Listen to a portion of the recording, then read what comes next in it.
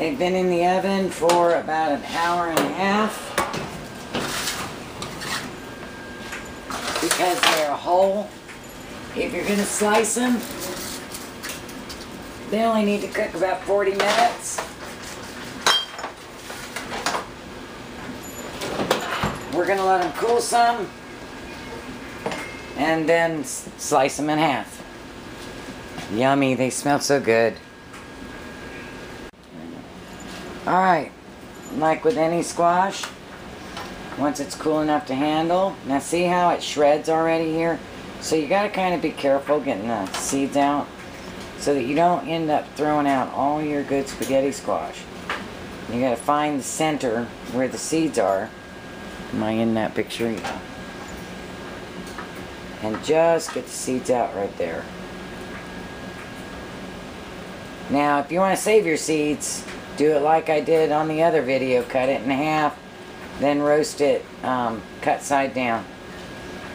But I'm not keeping any of these seeds. I'll do one more for you. Don't worry about cutting that part out. That's really good on your spaghetti. It's nice and flavorful and caramelized. And just try to get just as many seeds as you can and not the uh, threads.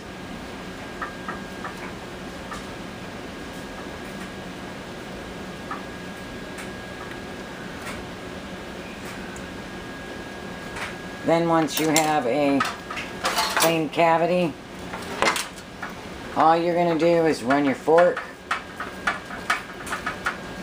and it turns to spaghetti shreds. You're going to go all the way to the skin. See that? I'm just going to fork it up. You got spaghetti. We're going to dehydrate this. Alright, so you take your squash and you got to figure out which way they're going. Usually like that. And you just take your fork, and I mean, it's that easy when they're done properly. If they're really juicy, then they're not completely cooked and they're just a little harder to get it out. And you don't want to just scoop the whole thing out and then break it up because it's a lot easier to shred it in the shell. See that? Hopefully my arm's not in the way. See how it's just shredding right out of there? Like spaghetti. And you want to keep doing this until your shell is completely empty. And when I say completely empty, I mean completely empty. Don't worry about the brown stuff, that really tastes good.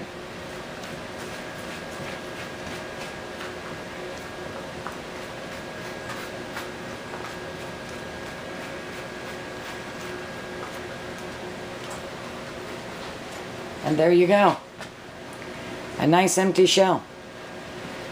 You're going to want to dehydrate this um, 125 probably for at least 12 hours. And you want to spread this out because remember it's going to stick together. So however thick you make it, you're stuck with that for your dehydrated bag. Alright? And I'll show it to you when it comes out of the dehydrator.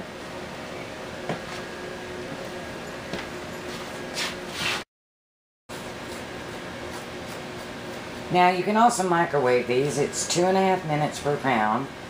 But you're going to cut them in half with cut side up and wax paper over them. But you can do it that way if you so choose. Or you can bake them cut in half, face side down in a baking pan. Or you can just throw them in the oven whole. In the baking pan, it's about 40 minutes. Whole, it's about an hour and a half. Big, huge ones, longer than that. This is borderline putting it back in the oven on this one. Alright, looks like I've got seven trays there. That is uh, two 9 by 13 pans with spaghetti squash in it, varying sizes. So that gives you an idea of how much it makes. So remember about 125 for about 12 hours. If it's undercooked, it's going to take longer because the juices are still in it. Okay, so here's spaghetti squash, dehydrated. Turned out really nice. Only one tray took a while because it was way too thick. But the rest of it, and it smells really sweet. I'm excited to try this. So let's get started with the recipe.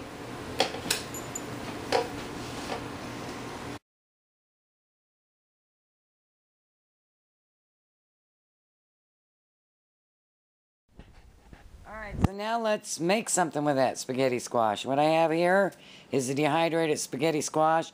You can really smell the uh, sugars in it. And we're just going to cover it with water.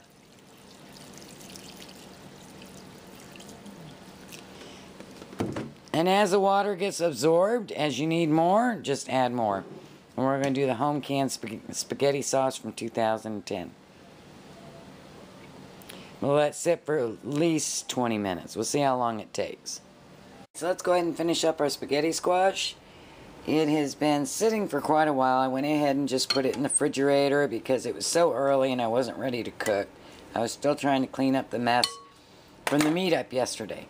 So you just keep adding water, like I said, until it doesn't absorb any more water and it's rehydrated. And then we're going to put it in our strainer and drain it. Because you don't want all that extra water. Okay? I'm going to taste it. Mmm. Oh, man. Tastes just like spaghetti squash. So all I'm going to do now, I'm not going to do the uh, spaghetti sauce. I'm going to do pesto. And I have a pint jar of frozen basil. And so I'm going to put it in the pot first with some oil. I went ahead and broke off some. And it's easier to put it in a bag and uh, do it from there. And I don't do the whole pine nut thing and all of that. You can add your pine nuts, but you know, pine nuts are really expensive. And if you're like me, it doesn't add that much to it that it's worth the cost. Now, you're going to use quite a bit of olive oil, but while I'm thawing it, I'm keeping the olive oil pretty thin. I'm going to dehydrate some my next harvest and see if it turns out just as good. I don't think it's going to, but... So I'm not going to probably do a lot of it. Because I really love my pesto. And I'm going to can some. And so I'm just moving it around in the oil until it thaws. And as it gets really thick, I'm adding more. You know what? I even, there you go. You can see better now, huh? Oh, it smells wonderful fresh in here. All I do is pick it from the garden, grind it up, and then throw it right in a jar and freeze it. The quicker you are at getting it in the jar, the less brown it gets, the fresher taste it gets. So if you're going to can it, you got to can it with the olive oil. Don't try to use any other oil when you're canning it. It's not going to be good. It's not going to be a pretty picture. So now I'm dumping in, I like a lot of olive oil. Got to be careful because my rehydrated spaghetti squash is wetter than regular.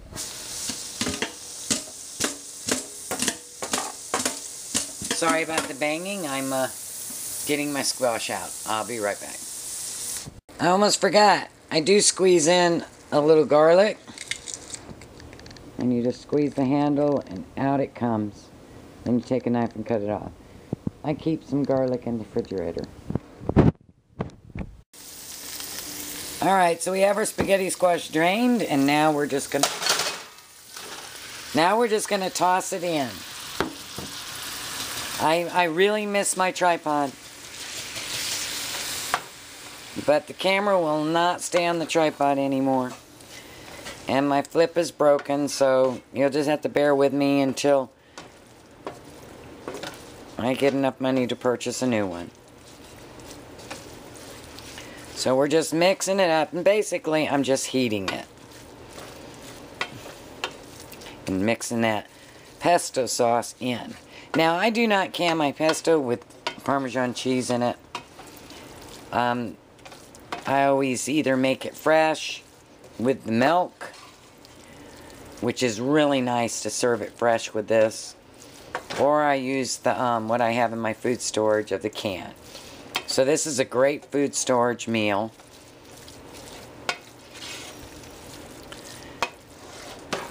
Like I said, next batch of basil, I will can so you can see how to can it. Alright, so we're just going to let that heat up. And then the last thing we do is throw in the Parmesan cheese. And there we go. Spaghetti, squash with pesto and garlic bread. Mmm.